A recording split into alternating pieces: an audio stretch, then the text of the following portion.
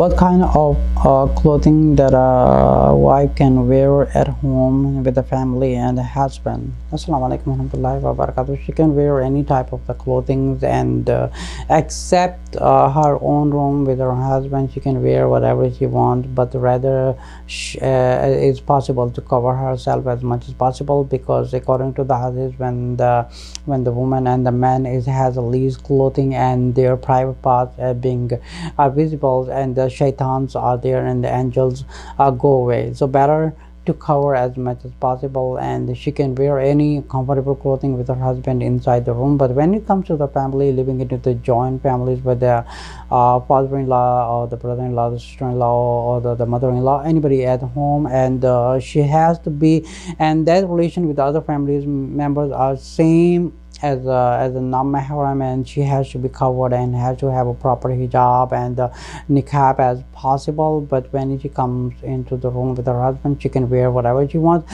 But not something like she stay in uh, naked and without clothing she move around. Because according to the hadith uh, when somebody's uh, remove when someone removes uh, clothing the angels go away and the shaitan comes. And when someone is covered the angels are there and shaitan goes away. And before removing the clothes say bismillah rahman rahim and then and just turn off the light and do whatever you want but rather stay in the clothing as much as possible. When you're getting out of the uh, room you can just wear um, which is like a hijab and proper hijab your body curves are not visible. It, it's same as that you're going out but the going staying in with the uh, with the husband in a room you're allowed to to wear any comfortable clothing